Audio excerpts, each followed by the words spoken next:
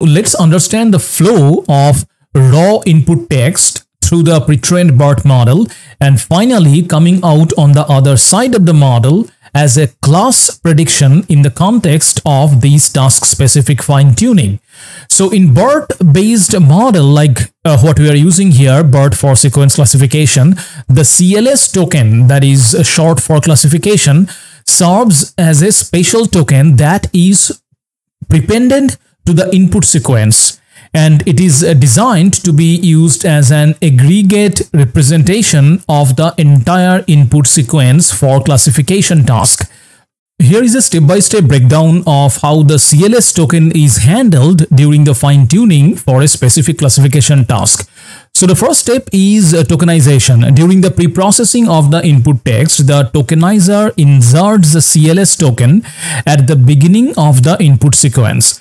For example, if the input text is uh, this is a sample sentence, the tokenizer input would look like CLS, then this is the sample sentence and um, then embedding the tokenized input sequence including the CLS token is passed through the BERT model's embedding layer which converts the tokens into continuous valued word vectors.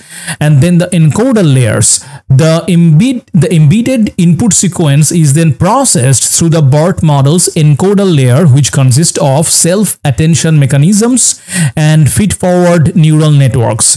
During this process the model learns to capture the semantic and syntactic information present in the input sequence as well as any relationships between the tokens and the final hidden state of CLS will come after this.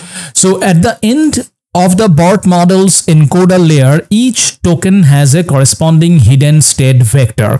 For the CLS token, its final hidden state is used as an aggregated representation of the entire input sequence. This vector is then passed to the task-specific classification layer. And then the linear layer, the final hidden state of the CLS token is fed into a linear layer, which maps the 768-dimensional vector to a vector of size equal to the number of target classes. In this case, uh, for our exercise, it's seven classes. And this is essentially a weight matrix multiplication followed by a bias term addition. And then softmax function.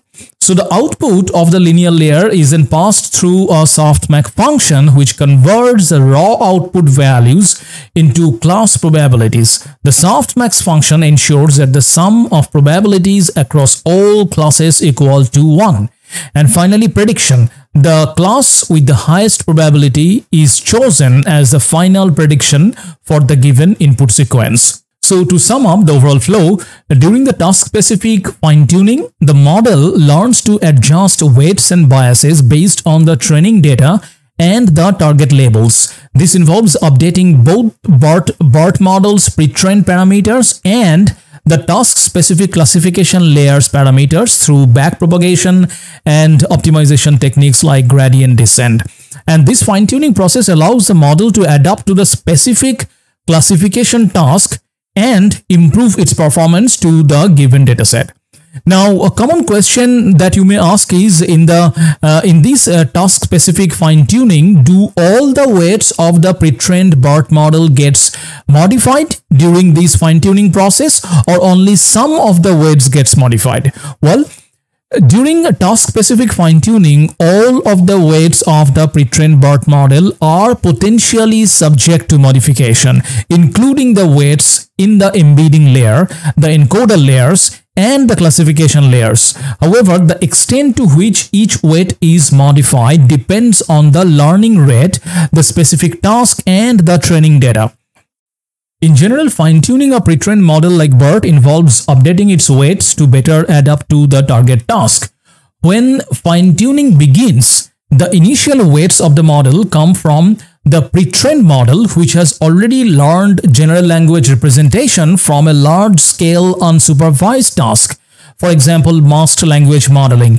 And during the fine-tuning, the model is exposed to the particular task-specific training data and labels, and the weights are updated using backpropagation and gradient descent.